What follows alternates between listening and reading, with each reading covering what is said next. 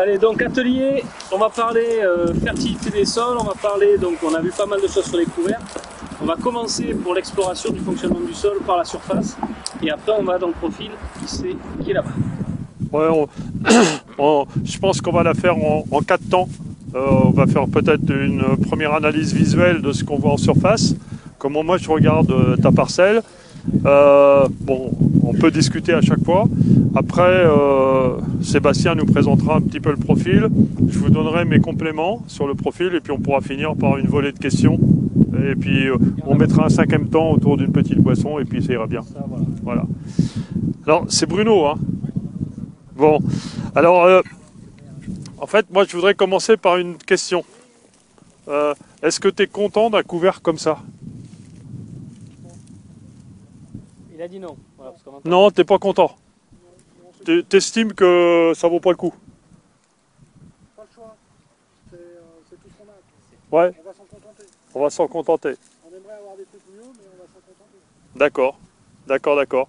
Alors, euh, c'est c'est là que, ok, souvent dans les, euh, dans les photos, dans, dans, le- dans ce, ce qu'on a montré encore ce matin, euh, tu vois, on, aime bien des beaux couverts, et on en a fait des beaux couverts, mais on en a fait des comme ça. Par contre, la difficulté qu'on a, euh, c'est d'apprécier, euh, euh, comme l'a dit Raphaël, l'ensemble des fonctionnalités d'un couvert qu'est-ce qu'on a gagné à mettre ce qu'on a mis en place? Et déjà, je vais me permettre, on va se déplacer un petit peu, hein, parce que si on regarde la parcelle ici, tu as, ta, ta graminée installée, ben, globalement c'est propre. Globalement c'est propre. Si on se déplace un tout petit peu, et qu'on arrive ici, alors Déjà sur l'interculture, sur la zone non couverte, bah, pas de relevé, on sait déjà que c'est très sec. Et puis ici, en fait, euh, on a dépensé aussi de l'argent. Si on fait le bilan de la dépense, hein, c'est l'évaluation hein, qui est toujours compliquée. Bah, ici, euh, euh, un déchômage comme ça, dans vos conditions, ça coûte le prix d'un SMI. Si tu mets la main-d'œuvre, si tu mets la machine, si tu mets le gasoil, tu vas peut-être même dépenser plus de gasoil ici qu'à le faire ici, mais euh, bon an, mal an, allez, une coupe d'euros près, des chômages semi, on n'est pas très loin de la différence, condition qu'on met de la main-d'œuvre et qu'on valorise correctement la main-d'œuvre. Donc en fait, le seul coût que l'on a là, c'est globalement le coût de semence, comparé à quelqu'un qui aurait une stratégie de déchômage.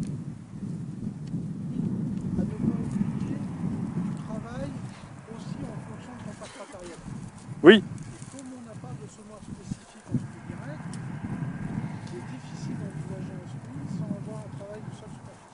Ok, mais après, dans une démarche de, disons, d'aller plus loin, à partir du moment où on peut avoir accès à une qualité de, semis, ou si tu te mettais agriculteur non équipé, comme Franck ou comme d'autres, tu peux dire allô entreprise, ou tu vas chercher les outils à la, à CUMA locale, et si tu as le choix entre les deux outils, en fait, en coût, ça va être très proche. Je suis tout à fait d'accord. Ça va être très proche. Ici, je, je me permets de vous dire que globalement, par rapport à des itinéraires conventionnels, le coût du couvert représente que la graine, ici. Hein. Et puis encore, si on déchaume deux fois pour tenir le champ propre, en fait, on a payé la graine par le deuxième coût de déchaumage. Alors, je vais aller encore plus dans ton sens. Ce qu'on voulait prouver ici, c'était euh, faire péter une barrière, en fait, c'était la barrière de mécanisation. Ouais. Il faut que nous, on s'équipe arriver à faire ça. Le plus gros défaut, hormis tout ce que tu viens de dire économique qui est là-dedans, elle est encore plus large que ça, c'est que, ce qui n'est pas le cas ici, mais dans d'autres terres, je peux t'emmener, tu vas avoir des levées d'ambroisie qui, qui vont avoir lieu là. Et ce qui a été prouvé pour moi, qui est vraiment un, bond énorme, c'est que tu peux faire tous les couverts, tu n'as quasi pas d'ambroisie. Et là, tu vas avoir des levées d'ambroisie. J'allais, si tu veux, j'a- j'allais y venir parce qu'en fait, la majorité du salissement que tu as aujourd'hui dans ces parcelles-là sont liés à tes itinéraires techniques, les cultures que tu fais, tes pratiques de désherbage, mais aussi tes pratiques de gestion d'interculture. Et à partir du moment où tu gères ta gestion d'interculture de manière différente, en fait, tu vas surprendre une grande partie du salissement. Alors, en Broisie, j'ai vu un peu de renoué liseron, un peu de liseron, il y a un peu de chien dent. Hein. et, si vous regardez bien, on va, on va se déplacer un petit peu. En fait, euh, tu es en train d'avoir une action sur tout ça sans vraiment t'en rendre compte. Parce que euh, quand on rentre dans le champ, et moi le premier, je regarde le visuel, alors oh, putain, t'as vu le couvert de merde que c'est? Non mais Bruno, écoute, hein, c'est... Mais, mais c'est au final, c'est pas mal. Parce qu'il faut arriver à, comment, à, regarder les avantages que tu es en train d'accumuler avec, avec, les, avec les économies. Et, et, contrairement à ce que la majorité de gens pensent, on est plus efficace pour réduire un stock semencier de toutes les adventices classiques en ne faisant rien dans un couvert médiocre comme ça que de travailler pendant des étés secs. Il suffirait aussi de mesurer la température du sol. Même cet après-midi, je suppose qu'on a 4-5 degrés de différence entre là et là. Parce que là, on l'a ombré, le vent est plus, et, passe au-dessus. c'est tout un tas de petites différences. Raphaël Charles, tout à l'heure, nous parlait de la rosée du matin. Hein. Euh, c'est tout un tas de différences. La partie auxiliaire, on ne le voit pas. Et on se dit, un couvert comme ça, c'est nul? Non, c'est pas nul. C'est presque une grande réussite. Et je vais vous montrer tout à l'heure dans le profil, une plante qui a eu du, un mal de chien à se développer, eh bien, elle a construit beaucoup de racines. Et là, ton sol, il est armé avec une plante qui, dès qu'on va avoir un coup d'eau, et on ne sait pas quand ça vient, ça peut faire encore une biomasse très honnête, on va dire, honnête, et, qui ne nécessitera pas de gérer du salissement parce que ce sera la biomasse du couvert qui sera là. Tandis que ça, ça te fera un peu de biomasse. Oui, mais ce sera beaucoup de merde. Est-ce que ça vaudrait pas le coup d'essayer? Parce que là, on en parle en aparté, mais euh, il y a très peu de résidus d'azote euh, après la céréale. Des graminées avec très peu d'azote, même s'il y a de l'eau, ça va être compliqué. Est-ce qu'un peu de fertilisation, ça serait pas intéressant pour euh, gagner de la couverture? Alors, j'étais tout à fait d'accord avec Raphaël ce matin. Euh, fertilité, euh, ça peut être hyper utile, euh, à condition qu'on ait un peu d'eau. Alors, faut, mais c'est pas idiot de mettre un petit peu de fertilité. Et en fait, en fait la, réussite du couvert, va, c'est une culture la plus difficile à réussir, et ça va être un souci des petits détails. En fait, ça veut dire que si déjà on fauche plus haut, ça, demande un effort, ça demande de changer. Mais faucher plus haut, ça va faire de moins de résidus au sol. Plus facile à positionner les graines. Ça va faire aussi que la vélocité du vent va être plus haute par rapport au sol et l'assèchement que peut apporter le vent va être limité. On va augmenter l'ombrage. Ça joue sur des petits millimètres. Mais de toute façon, il faut qu'on joue sur des petits millimètres. Euh, des collègues canadiens travaillent sur ce qu'ils appellent le water use efficiency, la, capacité l'efficacité d'utilisation de l'eau. Et on exprime ça en kilos de grains qu'on produit par millimètre de pluie qui tombe. On sent que c'est sec. Hein. Euh, ouais, water use efficiency. Et à partir du moment où on fauche haut, où on fauche avec un, stripper head, on peigne les grains, on améliore assez considérablement le water use efficiency. On ne fait pas pleuvoir, mais on évite. Et donc, c'est un petit truc. Après, la qualité du placement de la graine. Après, un peu de fertilité pour lancer l'affaire. L'engrais n'est pas quelque chose de perdu, c'est un investissement qui permet de charger le sol. C'est pas un coût. Moi, quand je regarde mes dépenses, 30 euros dans de l'engrais, c'est un investissement dans mon système. 30 euros dans un travail du sol, 30 euros dans des phytos, 30 euros dans n'importe quoi, c'est un coût. Je l'ai joué, c'est fini. Mais l'engrais, il va rester là, si je suis capable de recycler. Je le retrouverai. Au lieu qu'il soit dans le hangar, je vois trop de gars, ils ont déjà acheté l'engrais. Il est dans le hangar. Il ne sert à rien dans le hangar. Et tu as une parcelle qu'on a besoin. Au moins qu'il soit là, puis qu'il fasse tourner, et qu'on rentre du carbone avec. quoi. Ouais, mais tu étais bloqué à tes, fameuses 30 unités d'apport euh, par rapport à tes apports d'azote. on, on évoquera le réglementaire un peu plus tard, si tu veux. Restons euh, sur de l'agronomie. Restons sur de l'agronomie. Ça, ce sera la cinquième mi-temps. hein, la cinquième mi-temps. Restons sur de l'agronomie. Mais, mais c'est important, donc qualifié.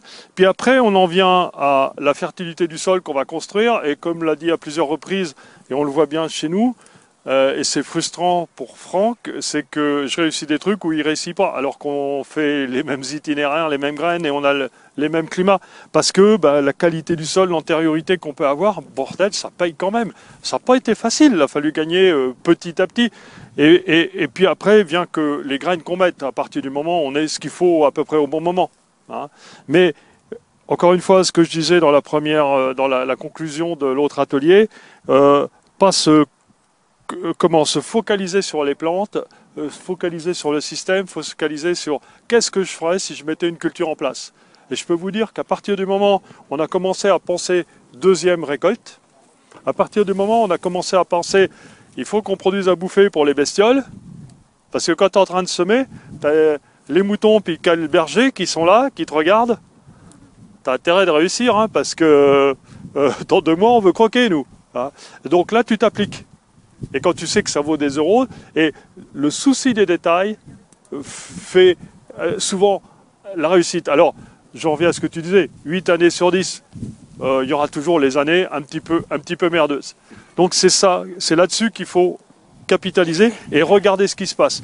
On va se déplacer un petit peu, je m'excuse de vous bouger, mais merci Sébastien, vous avez une, une plateforme couverte exceptionnelle exceptionnel. Mais je t'avais dit, mais je t'avais dit, je t'avais dit. C'est, mais faut montrer ça.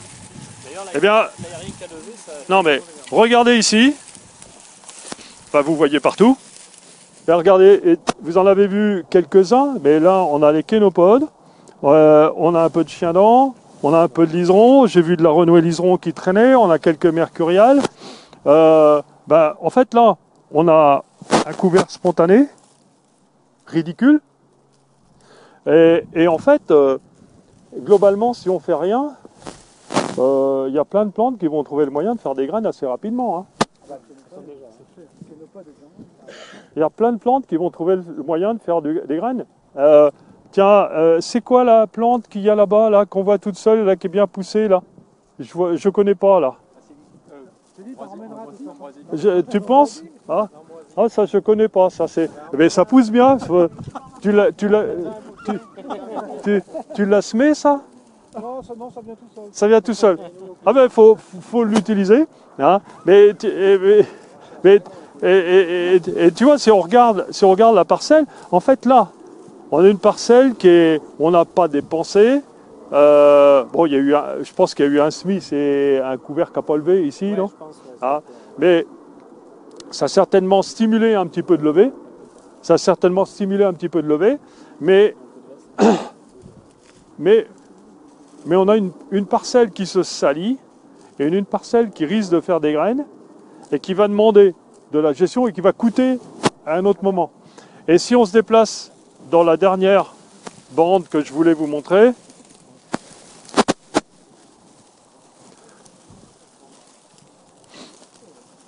Bah là, euh, alors on va retrouver de, de kénopodes, on va retrouver un tout petit peu de chien dent. Mais globalement, euh, globalement, c'est pas, c'est pas si mal que ça. Euh, Alors, encore une fois, sur les couverts, élargissons. Euh, On est d'accord sur tout ce qu'on cherche avec les couverts. Donc, euh, euh, au moment où on est dans l'observation de sa parcelle, bah, élargissons un petit peu notre, euh, notre jugement qu'on peut avoir. Alors, euh, euh, moi, comme toi, je suis déçu quand j'ai ça dans les champs. Mais, en même temps, si j'ai rempli euh, une quantité de services vers lesquels je courais, si j'ai limité d'autres dépenses, bah, la balance, euh, elle n'est pas si déconnante que ça. Moi, euh, l'objectif premier, euh, on avait parlé il y a, on a il y a 5 ans avec Sébastien, quand tu retrouves encore des cannes ici de maïs de l'année dernière, sur certains terrains, j'y retrouvais 5 ans après, mais sur des rotations qui sont très longues. Et je suis parti dans l'idée de me dire j'ai un problème de microbiologie de mes sols. C'est pas normal qu'un sol n'arrive pas à digérer euh, une canne de maïs au bout de 4 ans. L'objectif ici, c'était d'arriver, aujourd'hui c'est l'objectif malheureux euh, à minima de mes c'est de créer une espèce de petit îlot où on est capable d'abriter une espèce de milieu vivant et microbiologique autour de petits îlots, même a très peu de plantes, finalement on est capable de s'en contenter Mhm. en disant on a préservé quelque part notre, notre microbiologie et quand le climat reviendra à des températures et à l'hygrométrie qui sera bonne, j'aurai une explosion par rapport à ces spots-là. Donc c'est éviter la, la partie déjà. Tu as réussi des choses exceptionnelles. Qui, c'est que tu as réussi à faire lever. Tu peux cocher. J'ai fait lever. Là. Bon, euh, pas toutes les espèces, mais j'ai fait lever. Ça veut dire que on a travaillé quand même la qualité de semis. Ça répond en partie à votre, euh, recherche.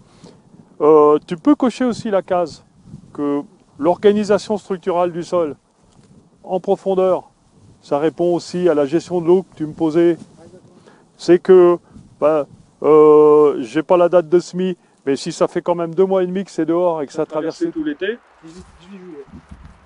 ouais, donc euh, Et 10 mm entre temps, entre euh, les 24 derniers. et- ouais, et ça fait quand même euh, deux mois en plus que c'est que c'est dehors, et ça pas.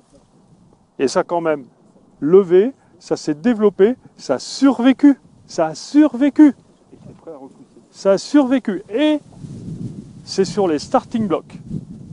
Alors, climat aléatoire, climat aléatoire. Euh, mais ça veut dire, et je t'écoutais, et moi ça fait deux mois que je regarde, il va toujours pleuvoir le week-end prochain, et mais c'est toujours le, et là c'est encore le week-end prochain. hein, euh, alors euh, je sais pas si euh, météo ciel ou plein champ ils se foutent de notre gueule ou c'est pour les touristes. Même eux, ils ont abandonné. Ils sont arrêtés à 5 jours. Hein, mais bon, ok, mais il y a, y, a, il y a un moment, ça va décrocher, mais c'est en place pour exploser le jour où ça va décrocher. Alors, j'ai deux photos extraordinaires et j'étais dans une parcelle un peu comme ça, dans les Deux-Sèvres, et en plus, il y avait les cailloux qui ressemblaient un peu, euh, en, en, en 2009. Et c'était le, le 22 septembre, j'ai encore les, dates, 22 septembre, alors, on est un peu plus tard, hein, 2009.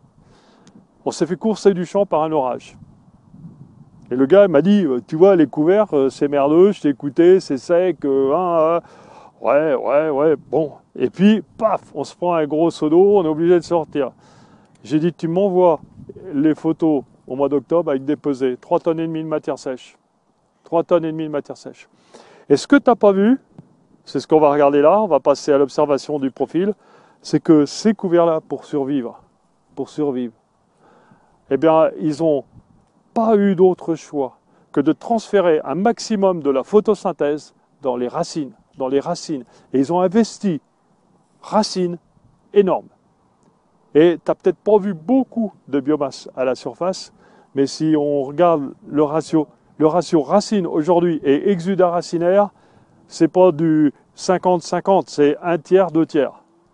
Parce que pour passer l'été qu'ils ont dû passer, il y a de la racine, il y a du carbone liquide qui est arrivé dans le sol.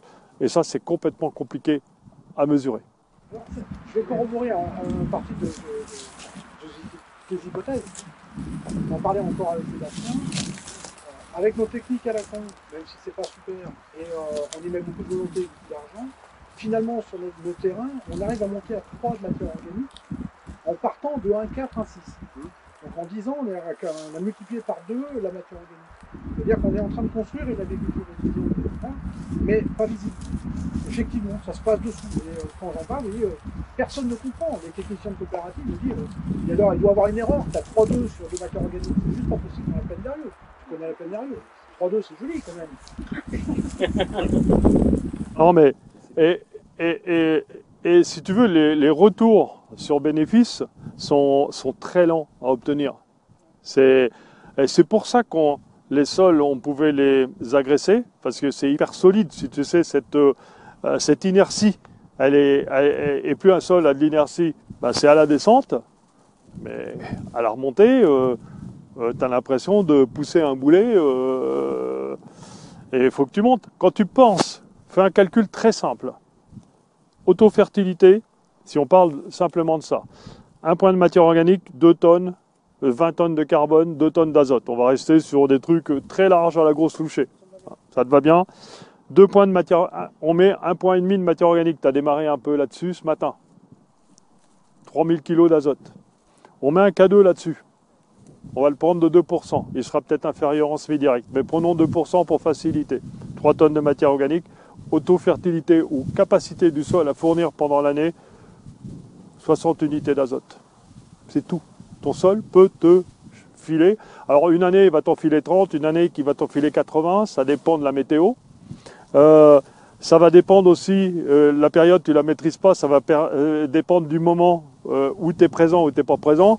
L'autofertilité sur ta culture et surtout sur une céréale qui arrive toujours après les, courses. Ok, réduit, 20-30 unités. Donc là, tu es obligé de blinder en engrais si tu veux avoir des, céréales correctes. Ça va mieux suivre avec un maïs, ça va mieux suivre avec un tour de sol. Pardon?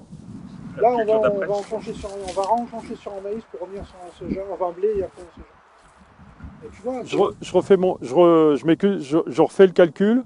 On met à 3 ou on mettons 4 de matière organique. Montons. Si on reste à 2, ça me fait 8000 kg d'azote. Tu mets un K2 de 2%, sur 8000 kg, on monte à 150.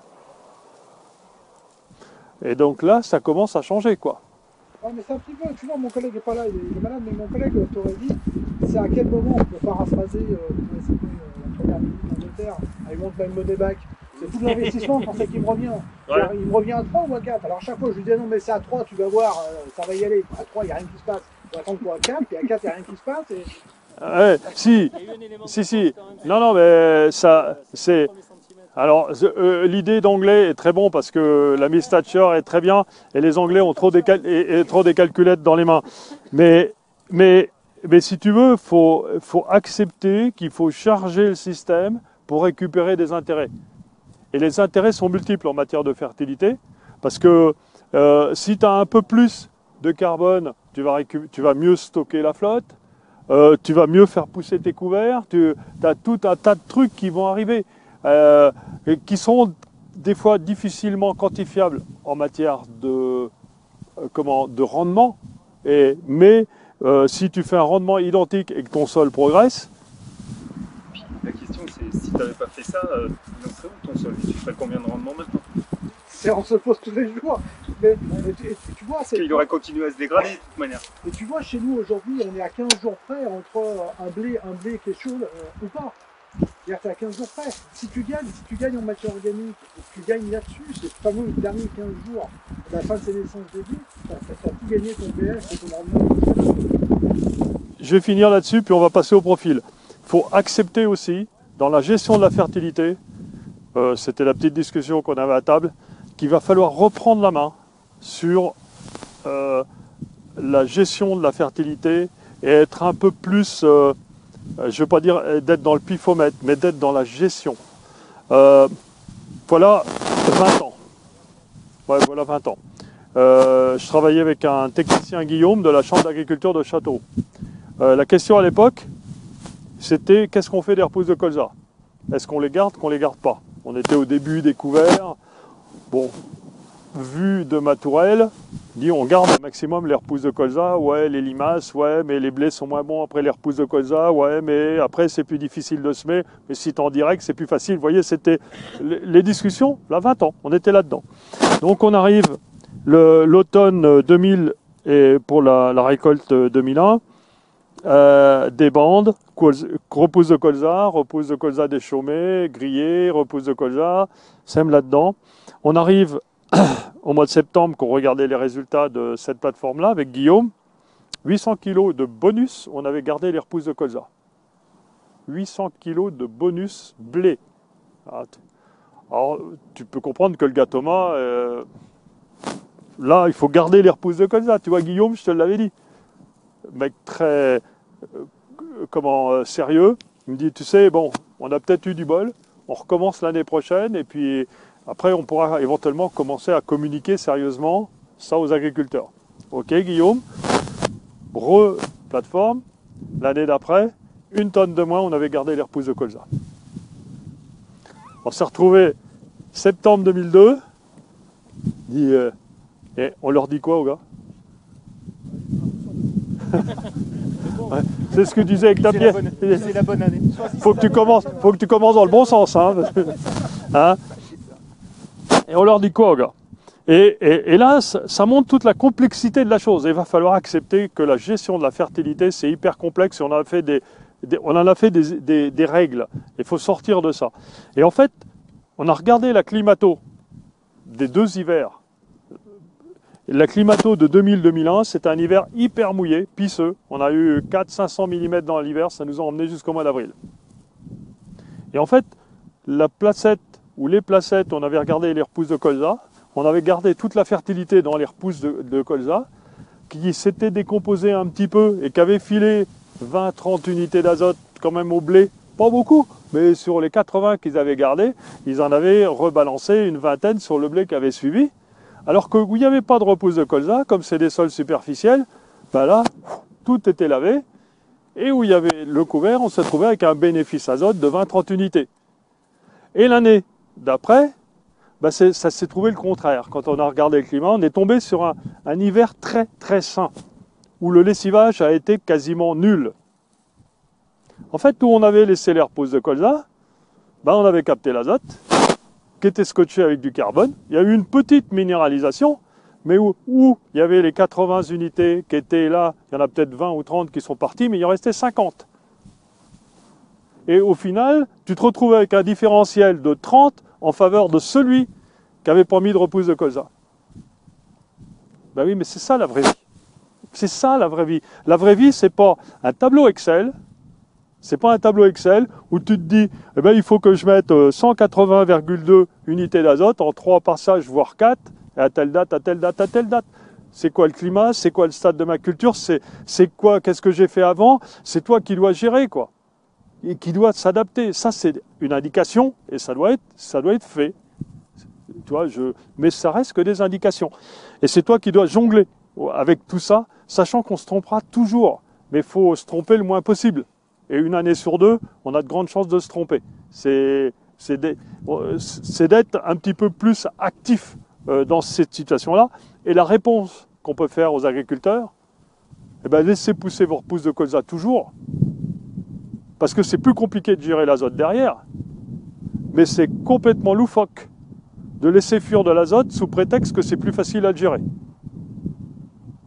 Parce que moi, si le Crédit Agricole me proposait un PEP, un plan d'épargne passoire, en me di- disant de temps en temps, tu auras un peu plus de trésorerie, non, non, je dis, mais mon capital, occupez-vous pas du capital, c'est nous qui gérons. Non, non, ben, moi, je veux bien le côté trésorerie, mais je veux pas que le capital s'effrite non plus. Et s'il peut s'aggrader, ce sera encore mieux. Tu pourrais expliquer ça à, à Miss Thatcher? Miss- ouais. Je vais commencer par. Je laisse la parole à Sébastien. Juste pour en revenir sur euh, l'impact sur les sucres, euh, enfin, sur la microbio de ces couverts de l'enracinement, on a fait des analyses microbio sur la parcelle. Ouais, Et donc on a, on- n'a pas encore les résultats, mais on en a fait avant l'implantation des couverts. Et on en refera au mois de novembre euh, pour voir un petit peu comment la, la faune a évolué, enfin comment le microbiote a évolué et euh, qu'est-ce que ça a pu amener euh, comme changement de concept. On partagera les résultats avec plaisir, mais voilà. On commence à avoir des outils pour arriver à explorer un petit peu cette partie faut l'explorer. qu'on avait du mal à,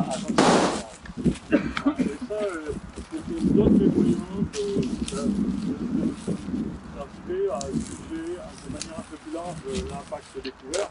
Et là, vous voyez déjà sur le, sur le salissement, c'est énorme. C'est énorme.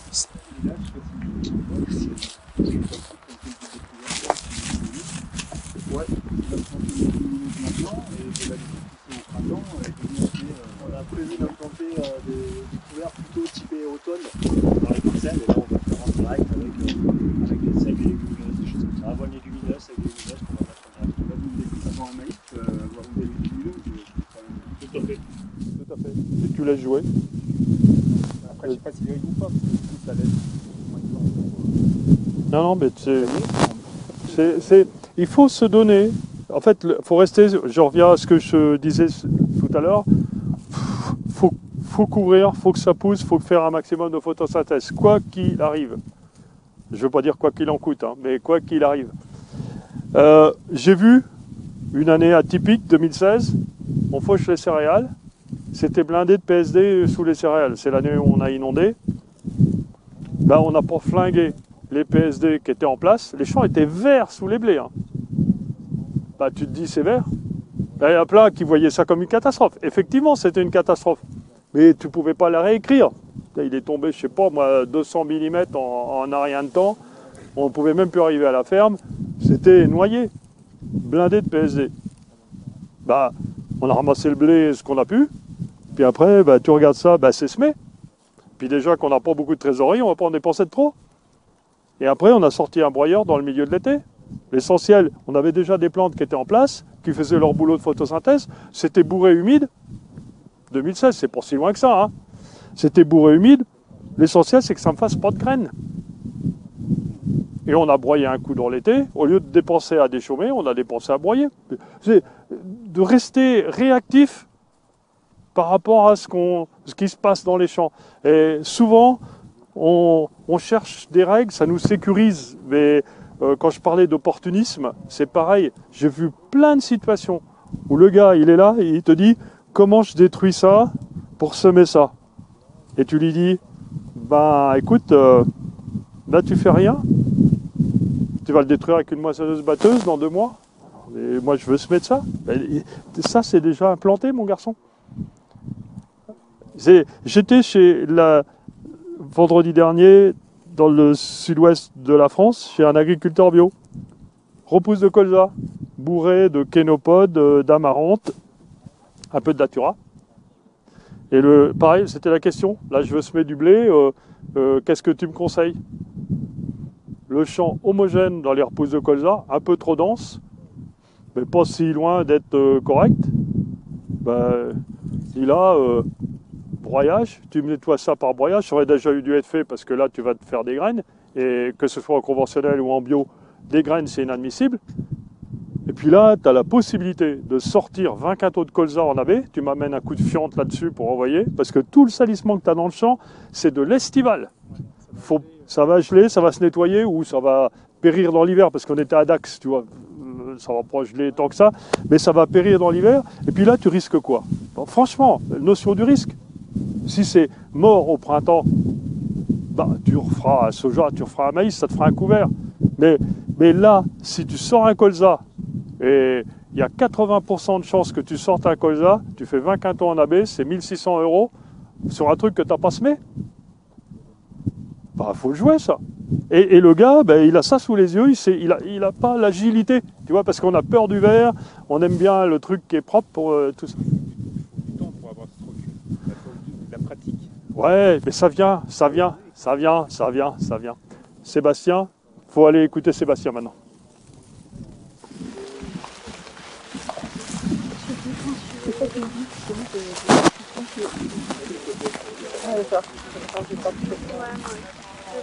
Et surtout, Franck, tu secoues, surtout nos pompes, hein, parce que on n'emmène pas cette merde-là. hein, c'est.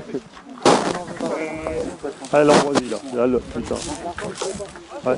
Et, et en fait, quand tu regardes, quand, ouais, quand tu regardes où ça pousse, c'est dans les sols déstructurés, euh, les bords de rivières complètement lessivés, c'est les, les zones, euh, les, les, les friches industrielles, euh, c'est là que pullule l'ambroisie. C'est une belle plante Alors. indicatrice.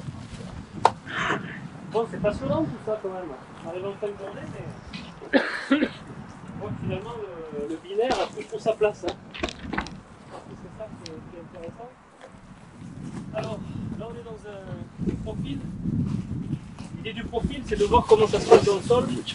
On a parlé de pas mal de trucs. Ce qui est intéressant, c'est que tout en regardant la surface, et on commence à faire des hypothèses. Bon, après, il faut avoir le savoir-faire.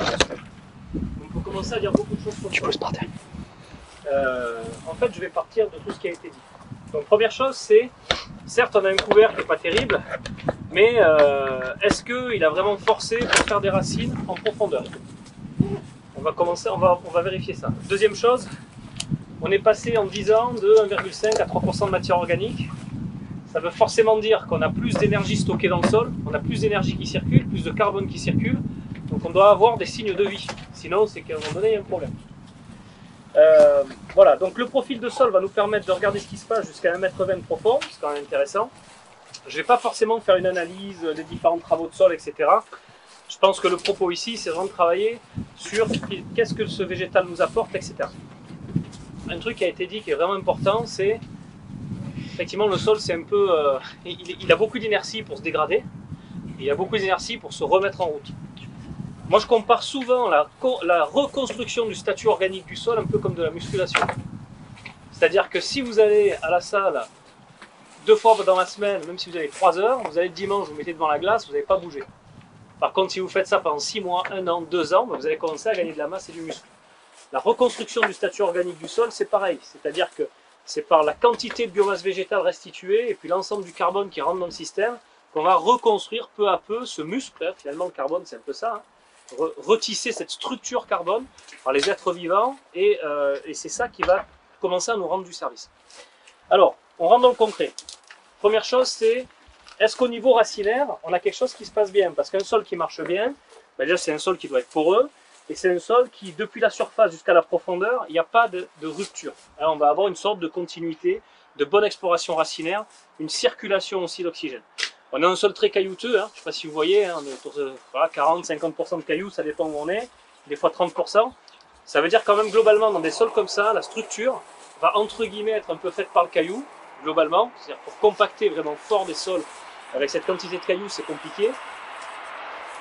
Le revers de la médaille, c'est que c'est des sols qui vont se réchauffer vite, mais des fois peut-être un peu trop. Ça peut monter beaucoup en température. Et donc, euh, voilà. Donc, si on commence à aller en profondeur, on va voir en bas, alors c'est compliqué à voir pour la caméra, mais en gros, moi si je suis en bas, je commence à sortir ici. Vous voyez, là vous avez de la racine blanche, vivante, active. Donc ça veut dire que tout en bas, là, je suis à peu près à un bon mètre, un mètre 10, j'ai de la racine vivante. Donc j'en ai à cet endroit-là, mais si je commence à regarder la fréquence, je vais en retrouver quand même pas mal. Voilà. Donc ici, je, je viens en rechercher encore, j'en ai là racine, racine, racine, un peu partout.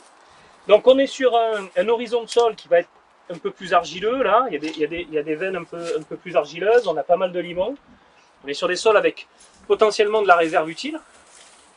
Donc ça veut dire que déjà, on a de la racine qui peut explorer jusqu'en profondeur. Si un petit couvert comme ça, il arrive à explorer, il n'y aura aucun problème pour qu'une culture vienne explorer. Ce qu'a dit Frédéric tout à l'heure, c'est de dire que si le couvert il a commencé à faire le job d'explorer correctement le profil, il prépare aussi le terrain pour la culture suivante. Ce qui ne sera pas le cas sur un sol euh. Alors oui, la mauvaise herbe va descendre, mais ce que je veux dire, c'est que si par exemple on fait deux déchaumages, cette fonction de la racine vivante, ce carbone liquide injecté, ce biotope, finalement microbien, sera absent ou beaucoup moins présent. Donc là, c'est fonctionnel. Sur l'hypothèse qu'on a élaborée tout à l'heure, ce couvert, il fait quand même du job. Effectivement, on a la racine jusqu'en bas. Grosso modo, un sol comme ça, il va te faire autour de 1,2 mm de stockage d'eau par centimètre de sol. Donc on a 1 mètre, ça fait 120 mm, on retranche les cailloux, ça fait voilà, peut-être 70 mm de stockage d'eau disponible. Et sans doute qu'on peut descendre encore plus. Je ne sais pas la profondeur complète du sol, mais euh, une culture de blé, une culture de maïs, ça va descendre à 1m50, voire plus en fonction des conditions. Ça veut dire qu'en fait, tu disais tout à l'heure que tu raisonnais ton irrigation sur les 35 premiers centimètres. C'est important de raisonner l'irrigation. Euh, pour venir exploiter toute cette réserve utile et surtout ne pas concentrer l'eau. C'est-à-dire si tu remplis, remplis, ta réserve sur les 30 premiers centimètres, tu vas avoir tes racines qui vont se masser dessus et puis elles vont pas avoir tendance à descendre. C'est important de, de, gérer l'irrigation sur cette intégralité. Donc qu'est-ce qu'on va venir aussi observer dans ce profil? Au moins déjà sur la profondeur. Je, peux revenir sur Vas-y, vas-y, ouais. Justement sur, sur, la gestion de l'arrosage. Euh, on le pilote sur euh, les 35 cm du sol. Est-ce que se dire vais gérer sur beaucoup plus, donc j'ai une masse en fait, de d'eau que je peux apporter supplémentaire. Est-ce que j'entraîne pas une hygromorphie de mon sol sur les premiers centimètres Cette hygromorphie-là, le temps que ça descende, est-ce qu'elle est qu va impacter ma vie microbienne du sol bah, En fait, je ne sais pas s'il faut le, gérer comme ça. C'est-à-dire c'est quand est-ce que tu déclenches ta première irrigation si ton sol est complètement il est trop sec quand tu déclenches ta première irrigation, tu, tu vas faire ton tour d'eau à 30 mm, tu vas le remplir, ça dépend de la saison que tu es, euh, tu peux les évapotranspirer entre le moment où tu relèves ton tour d'eau, selon ton nombre d'enrouleurs et compagnie. Donc la question c'est, est-ce que ta lame d'eau elle est toujours là? Et au final, quand tu viens réalimenter ton irrigation, tu as, ton profil qui va être, euh, qui va être alimenté convenablement en fait. Hein, pense ça. qu'à un moment donné, euh, c'est- quand tu commences à avoir de la rupture. Une lame d'eau, en fait, à partir du moment où elle est, euh, elle est, elle est coupée, derrière, bah, tu, tu ralimentes que par le dessus. Donc, il y a une notion aussi de remplir l'intégralité du profil. Et ça, c'est de la gestion de, de la gestion d'irrigation et, et de, aussi d'être précautionneux, peut-être pas la déclencher trop tard. Tu vois. Et aujourd'hui, on sait qu'on peut avoir des sécheresses précoces. Donc, je sais pas après comment c'est géré sur les maïs ou sur les sojas, chez toi. On déclenche par rapport à des alertes de sonde. Ouais. Mais elles sont à combien tes sondes? Ah, mais c'est le SMART qui, euh, D'accord. qui, qui, Ok. qui travaille sur les sondes du SMART. Et tu vois, moi, enfin, c'est peut-être des résurgences de mon ancienne vie euh, au niveau du goutte à goutte, mais de se dire que finalement je suis capable d'apporter 70 mm, il faudrait apporter 70 mm, parce qu'il faut que je fasse mon système racinaire. Moi, ça, ça allume un warning qui me dit, mais si j'apporte 70 cm, combien de temps mon sol va être hydromorphe Et Est-ce que je vais pas nuire plutôt à ma micro, à mes microbactéries de mon sol parce que euh, euh, j'enlève l'oxygène du sol en remplaçant en l'eau Voilà, est-ce qu'il y a un jeu par rapport à ça? Ouais, Il y, a- il y a- monsieur qui est méchant qui veut parler là. Ouais, ouais, bah vas-y, hein. Bah, vas-y, n'hésite pas, on est là pour faire ça. Non, non, mais-. Euh, on va, on va, euh, c'est bien parce que tout à l'heure on s'est, accroché pas sur la, sur la flotte. Si tu veux, euh, c'est ta question est, est- est- est géniale parce que bon déjà on s'est accroché, on s'est accroché sur la croissance euh, de la euh, comment euh, de la réserve utile du sol. Euh, je te disais que bon, Franck il est à 35-40 et moi je suis rendu à 200. Oui. Non, mais c'est pas ça. là. C'est c'est pas ça. Ça doit pas être facile tous les jours. Là, non, mais, non, mais, euh, viens vivre 8 jours et tu verras. hein. Chez nous. Mais, mais, euh, mais, mais si tu veux, on a, on a regardé l'enracinement. On, on le voit bien dans la capacité des cultures à survivre. Quand tu calcules ton OTP euh, de maïs, tu te dis, bah, il n'y a pas à chier. Quoi. Il consomme quand même 5-6 mm jour. Il est encore vert. Là, il est pas vert. Même s'il est descendu à 4. Euh, il a fallu qu'il trouve 4 euh, pendant encore euh, deux mois. Bah, ça fait. euh, on va retrouver encore euh, 250 mm et puis il a plus quoi rien. Mais euh, il, il a trouvé de la flotte quoi. Parce que, et, donc euh, tu peux lier ça à la profondeur et aussi à la capacité d'aller chercher. Euh, si on dit qu'on a 150 mm de différence, on a construit en 25 ans. Je viens de leur calculer le truc là. 150 sur, divisé par 25, ça fait 6 mm par an qu'on a gagné. Euh, C'est sûr que Mr. Thatcher, euh, c'est pas visible 6 mm quoi, si tu veux. C'est pas visible. Mais c'est l'addition des petits bouts. Alors des années on a peut-être gagné 15, d'autres on a peut-être perdu 2 en plus, tu vois. Mais c'est l'addition de ces petits bouts qui font la différence. Ce qui fait que dans un système comme ça, bah, va falloir, comme la gestion de l'azote, je vais y revenir, apprendre à gérer la flotte différemment. Parce que, un, on peut stocker plus d'eau. Parce que, deux, la RFU est plus importante, donc on a moins de risques de manquer. faut pas être con, mais d'aller trop loin dans l'hypothèse, quoi, si tu faut observer, ou descendre les racines. Et deux, j'ai même un collègue américain qui a fait descendre la pression. Il est avec un pivot d'irrigation. Et en fait, euh, maintenant, je crois qu'ils sont à 9 mm minute euh, en irrigation parce qu'en fait, on a des gros trous de verre de terre, on arrive à rentrer l'eau rapidement, on n'a on a plus besoin d'aspe- d'aspercer, si tu veux, on peut quasiment foutre la flotte comme ça. Donc, il n'a plus besoin d'envoyer de la pression dans ses tuyaux, Euh, c'est simplement des palettes qui, qui dispatchent de l'eau euh, euh, quasiment, quasiment au sol parce que l'eau peut rentrer très vite par les, par les galeries puis humecter, humecter le sol comme ça.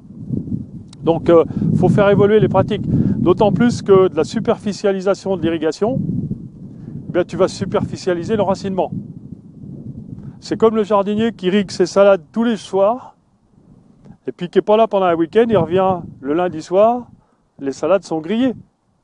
Fred, en, en gros, tu lui dis que le gros défaut qu'il a, c'est qu'il a l'irrigation.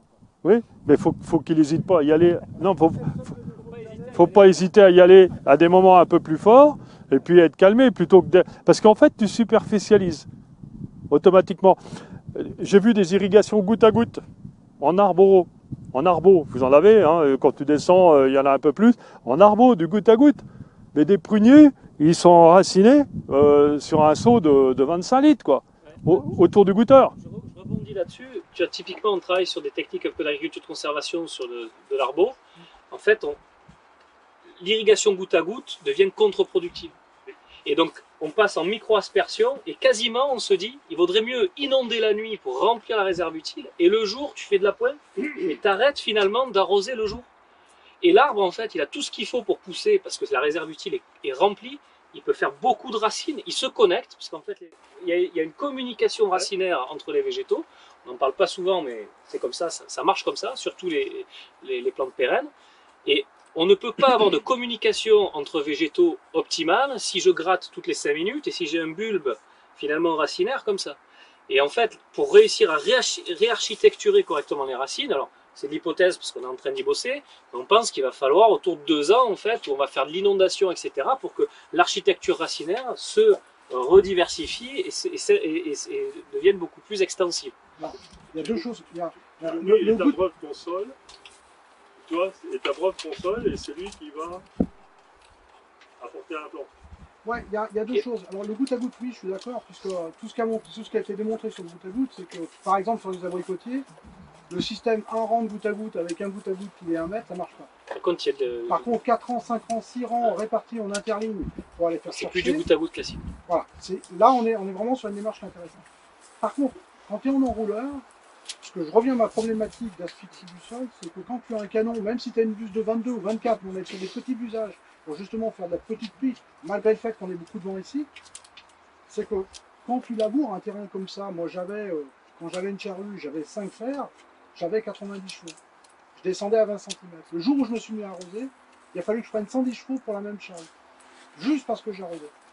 Et tu te dis, mais en fait, l'irrigation, ça déstructure ton sol. Et plus je vais apporter d'eau, plus je vais mettre une grosse buse, plus je vais euh, euh, massifier ma flotte en apport, plus j'ai peur de déstructurer, en fait, par rapport à Alors, ce que je juste une chose là-dessus. En fait, c'est la question, et je pense que je vais te laisser rebondir, c'est ce que tu as dit tout à l'heure. Euh, enfin, on a, on a- à l'époque, on, on juste entre nous. C'est la question de microporosité versus macroporosité. Si tu as beaucoup de macroporosité mécanique et très peu, et une activité biologique trop insuffisante, en fait, la porosité, elle va s'affaisser, un peu comme quand on fait du ciment. Tu mélanges, tu brasses, tu mets de l'eau, tu as tes particules de sol qui se mettent en suspension, et quand l'eau se retire, ça te fait du béton. La microporosité, qui est faite par l'activité biologique, hein, les mycorhizes, etc., euh, c'est cette microporosité qui va déjà stocker beaucoup d'eau et qui va être extrêmement stable, même si tu mets euh, une quantité de flotte euh, un peu importante, c'est-à-dire tu satures un peu trop ton sol, ben, ça va drainer. Et juste une chose avant que tu rebondisses, c'est ici quand tu regardes les galeries. Tu pars de la surface, tu descends. Moi j'en ai dénombré quasiment plus de 30 sur une tranche de 20 cm de large. Ça veut dire que, alors tu as les mêmes galeries des fois que j'ai redécouvert, mais ce que je veux dire c'est que tu as une continuité de porosité de la surface jusqu'en profondeur, jusqu'à 1 mètre, peut-être ça descend encore plus, ben, elle est présente. hein. Il n'y a, pas- a de rupture. Enfin, les symptômes dont je te parle, c'était Voilà. il y a 20 ans, c'est-à-dire Voilà. de 30 ans. C'est-à-dire qu'on n'a pas su détecter ces premiers symptômes de, Ouais. de, de perte de, de biologie de notre sol à l'époque, quand Ouais. les patients l'arrosage. Voilà. Mais en tous les cas, si tu as de la microporosité, de la porosité biologique et que tu la redéranges pas et que tu la recasses pas avec trop de brassage, normalement tu devrais avoir euh, moins de ce type de symptômes-là. Je te laisse. euh, Non, non, mais je, je te rejoins là-dessus. Euh, L'irrigation euh, va être très impactante à partir du moment où tu as un sol qui est déstabilisé. À partir du moment où tu as recréé de la stabilité, bah, tu es moins impactant quand tu circules dans la parcelle avec des pneumatiques, tu es moins impactant quand tu irrigues. Et, et en fait, tu, tu vas être moins impactant à irriguer une grosse fois à un moment donné, recharger le système, que d'être en, en petits coups euh, d'irrigation. Euh, ça va également forcer à descendre l'enracinement. Ça, ça va être euh, intéressant parce que je reviens, des micro-irrigations superficialiseront l'enracinement. C'est pas ce qu'on cherche à faire. Tu rends les plantes dépendantes de l'irrigation. C'est la même chose euh, qu'on va faire avec l'azote. Parce qu'en fait, euh, combien de gens font des reliquats d'azote? Les trois profils, hein, les trois horizons. Un sol comme ça, tu dois faire les, trois horizons. Mais après, est-ce qu'on va vérifier si les racines vont bien dans le troisième horizon? Bah, Il faudrait quand même lier euh, une analyse de reliquat avec un profil de sol. Savoir si le blé va aller les chercher ou pas.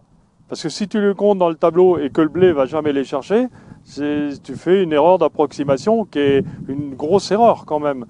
Euh, ça va être la même chose sur le maïs. Et quand on commence à avoir un gain comme ça, en matière de gestion d'azote, ça donne beaucoup plus de flexibilité parce que tu peux charger le système. Et là, si tu te retrouves, par exemple, une- euh, mettons qu'on va semer une céréale là-dessus et qu'on serait sur un chaume de maïs, un chaume de maïs avec un peu de résidus, bah en fait, euh, le, quand on va mettre l'azote au printemps, euh, la première zone de surface, c'est une zone très peu azotée. On est en C très faible. Donc il y a la première partie de l'engrais qui va déjà être pris par toute l'activité biologique qui attend de l'azote. Et toi, tu veux nourrir le blé?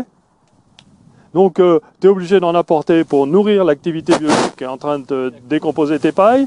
Tu es en train d'en apporter pour l'activité biologique qui est un peu en dessous, qui est aussi assez N assez faible, qui va en profiter. Donc tout le monde va se gaufrer un peu d'azote et un petit peu pour le blé. Puis pour être sûr qu'il y en a pas mal pour le blé, c'est bien de charger. Et si le sol a de la profondeur et que les racines sont descendues, tant mieux si ça descend. Au moins celui-ci, il est déjà hors de portée. Et puis on va di- diminuer les risques de volatilisation et de perte de gaz à effet de serre. Et on va charger le sol. Et je peux te garantir que sur des sols avec cette épaisseur-là, quand ils marchent bien, eh bien des mono-apports d'azote massifs, bien placés, seront quasiment plus pertinents que quatre apports d'azote. Mais ça ne veut pas dire qu'on va le faire les yeux fermés. Ça veut dire qu'on va commencer à le faire en observant l'organisation du sol, en observant la ra- le racinement. On, va faire un diagnostic avant pour être sûr de le faire. Parce que si tu as encore la présence d'une semelle et que tes racines s'arrêtent là et que tu as encore des hydromo- hydromorphies passagères, euh, la solution n'est pas bonne. Va falloir que tu remettes ton sol encore un peu plus loin, et puis on va biberonner. Là, ça, là c'est nécessaire de biberonner. Et là, justement, pour parler de semelles, si on en vient à ce diagnostic, tu vois, là, j'ai pris, c'est à peu près significatif. Ça, c'est sur ce qui serait un facsimilé de semelle antérieure. En fait, si tu regardes comment elle est structurée, tu as beaucoup de racines dedans. Quand tu la casses, même si c'est des fois un peu dur, tu as de la racine et c'est assez hétérogène. Donc, tu peux avoir une antériorité de, de- une sorte de plancher léger ici, et ça ne crée pas de problématique d'enracinement et ça ne va normalement pas forcément créer Hein, par rapport au profil, moi je trouve qu'il n'y a pas de problématique de structure. Il n'y a pas de lento, moi je trouve que c'est un bon profil. Voilà. Donc après, Dans le fond, t'es bon. voilà. J'ai j'ai bon fond, c'est ça? Et donc, sur ce profil-là, moi je rebondis sur l'aspect du lessivage. Quand on dit qu'un sol il doit bien fonctionner de la surface à la profondeur, souvent on dit le lessivage c'est mal, c'est mal, c'est mal. Bon, mais c'est sûr que si je prends toute ma masse, que je la mets à 20 cm, qu'il y a plein de processus qui se passent à ce moment-là, au moment où je mets ma plante, qu'elle ne va pas s'enraciner pour récupérer tout ça, ça se lessive, ça crée des problèmes. Par contre, si, comme le dit Frédéric, j'ai beaucoup de carbone à humifier, et pour humifier du carbone, pour le manger, pour nourrir la microbiologie, ça va consommer aussi de l'azote. Donc, on avait dit qu'on parlerait de réglementaire plutôt à l'apéro, mais euh, je pense que c'est important aussi de dire, c'est qu'à un moment donné, il y a une vraie capacité à venir consommer de l'azote par de la biomasse si elle est là. Et si elle est en surface, le lessivage se fait progressivement. Il y a une, nutrition euh, qui se fait. Le vrai problème, par exemple, dans les systèmes, euh, voilà, les systèmes en bio, le vrai problème, c'est pas les pesticides, c'est la circulation de l'azote, la disponibilité de l'azote.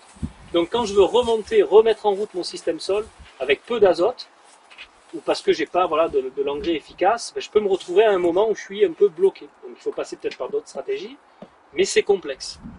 C'est très complexe de, je m'installe en bio sur un sol à 1,5% de matière organique, je dois reconstruire mon statut organique sans azote efficace. C'est la galère. Voilà. Parce que pour métaboliser du carbone, il faut de l'azote. Donc, sur ce type de profil-là, vous, quand vous allez regarder par exemple dans vos champs, vérifiez effectivement s'il y a des, moments de rupture. Est-ce qu'on a des semelles de lissage? Ici, il n'y en a pas. Et vous le vérifiez en regardant ce qui se passe au niveau de la structure. Est-ce qu'on est sur quelque chose d'hétérogène ou on est sur quelque chose qui va être, euh, on va dire, très massif? Ici, on est plutôt sur quelque chose d'hétérogène. Les cailloux font de la fissuration, font de la, finalement de la, des plans de fissuration. Et on a énormément de galeries de lombriques jusqu'en bas et de la racine vivante alors qu'on a un petit couvert. Ça vous donne déjà des indicateurs extrêmement puissants sur est-ce que mon sol fonctionne ou pas. Là, le sol est exploré, il est valorisé.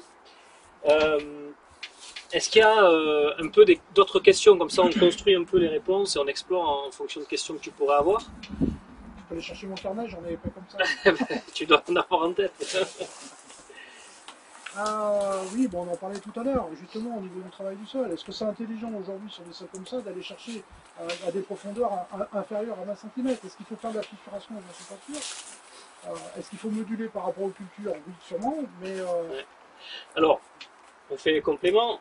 Là, l'histoire du travail du sol, moi, quand je vois ce qui se passe ici, l'aspect, je travaille le sol pour faire de la, on va dire, la porosité, ça m'a pas l'air très utile dans ce sol-là, voire presque contre-productif. Par contre, ce qui va permettre de sécuriser la culture, c'est le plan de ferti. Et souvent, dans les plans de ferti, c'est ce qu'on vient de citer, euh, trop euh, segmenter les apports, les faire comme ça euh, en, poudré, ça ne permet pas au système de démarrer. Ce qui est intéressant, c'est qu'en massant un peu plus de ferti au démarrage, en travaillant aussi sur des oligos extrêmement importants. On a parlé du soufre. Le soufre, c'est insuffisamment conseillé, c'est insuffisamment compris en agriculture. Et après, il y a des ratios.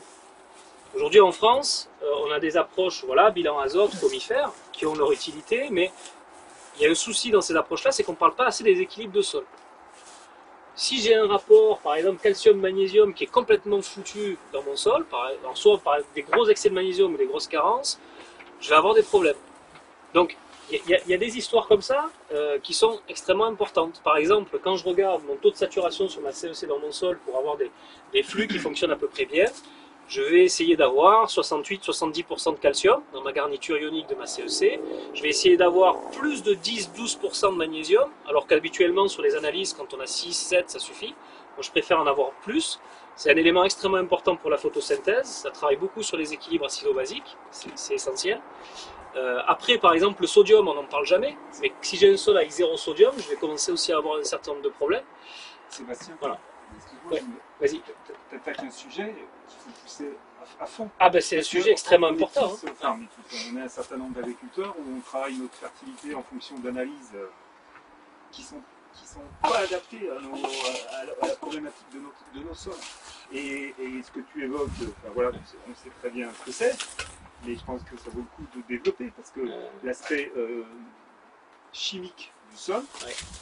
quand il est abordé comme tu le présentes, il, il va déclencher des choses positives, il- ça va rentrer dans le, dans le début du cercle alors que sinon tu peux, euh, comment dire, euh, retrouver des problèmes de façon perpétuelle sans jamais arriver à t'en sortir. Et puis on va faire des analyses de style comifère, super, on est à peu près d'aplomb, mais putain, il n'y a rien qui se passe et tu as toujours ton problème. Alors ça, la- la- le, le- le fondement, le fondement de la problématique que tu annonces, c'est qu'en fait, on parle de fertilité chimique, alors qu'il faudrait parler de fertilité électrochimique. Ça déjà, c'est Ouais. c'est- première problématique, c'est qu'en fait, si je parle en termes quasiment d'électronique dans le sol, je comprends que j'ai un équilibre hein, en termes de charge, etc. Donc, euh, c'est vrai que c'est un vrai problème. Après, c'est spécifique quasi à la France, parce que dans le monde anglo-saxon, par exemple, l'approche, on a, on a une dissémination quand même plus importante de, de- de cette approche, c'est l'approche Kinsey, etc. Ouais, faut se, faut toi, se tu peux en méfier. parler pas mal. Ouais, faut se méfier parce qu'on a tendance à connaître ceux qui font différemment. Ouais. Et ceux qui font différemment sont pas les dominants non plus dans leur euh, sur le- dans leur planète. hein. Tout à fait, tout à fait. Mais, mais en tous les cas, c'est cette histoire d'équilibre. Alors, je ne sais pas si on peut approfondir à fond aujourd'hui. La question centrale, c'est de se dire que c'est pas parce que j'en ai beaucoup que c'est bien. Si j'ai beaucoup de phosphore, je vais bloquer euh, du cuivre, je vais bloquer du zinc, des choses comme ça. La question, c'est pas de se dire, euh, je dois absolument avoir beaucoup de calcaire. Je peux bloquer un sol en cholant. Voilà, je mets un excès de calcium dans un sol en me disant c'est bon, je- j'en ai pour plusieurs années. Je vais me retrouver à avoir un taux de saturation qui va je vais être sursaturé en calcium et je vais avoir dans un sol où normalement je pourrais régler finement mes flux de nutriments, je me retrouver avec des blocages comme un sol calcaire puisque je suis allé en excès de calcium. Et donc derrière, c'est pour ça que le soufre est intéressant, c'est qu'avec le soufre ou des, produits avec du soufre, je peux gérer le statut acido- acido-basique un peu différemment. Par exemple, je peux venir euh, déchausser du calcium avec du soufre élémentaire. Euh, Je peux également apporter des produits euh, avec du soufre et, du magnésium pour travailler autour de, de- de- de ces questions-là. Et en tout cas, l'avantage de, ces, de approche-là, par exemple l'approche du souffle, si on reste sur les techniques d'analyse classique, on n'aborde pas la problématique du souffle. Alors on fait Vigneron a commencé à démontrer que Ah, Vindra, mais nous, nous, on- on- à la pratique, personne ne nous dit quand on fait une analyse communautaire, il faut mettre du souffle. Alors on se dit, ah ouais, tiens, maintenant on a moins de solutions au souffle, donc il faut qu'on en ramène. Ok, super, mais c'est assez. C'est c'est basique, alors que quand on rentre dans ce type euh, d'analyse, le soufre il est intégré dans la réflexion, et on te dit, ben voilà, il faut mettre des soufres sous telle et telle forme, tu vas en avoir encore pour 5 ans à investir, Euh, mais il y a quand même, après, il y, a, des choses qui reviennent vite. Mais du coup, on te, on te sensibilise directement à tous les problèmes que tu peux rencontrer.